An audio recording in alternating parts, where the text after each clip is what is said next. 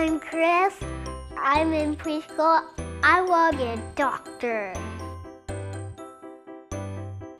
I'm Avery. I'm a kindergartner and I want to be a soccer player.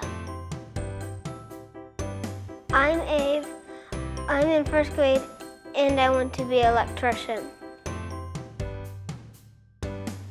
I'm Beatrice. I'm in second grade and I want to be an actress. I'm Alexandra. I'm in third grade and I want to be a video game designer. I'm Kaylee. I am in fourth grade and I want to be a fashion designer.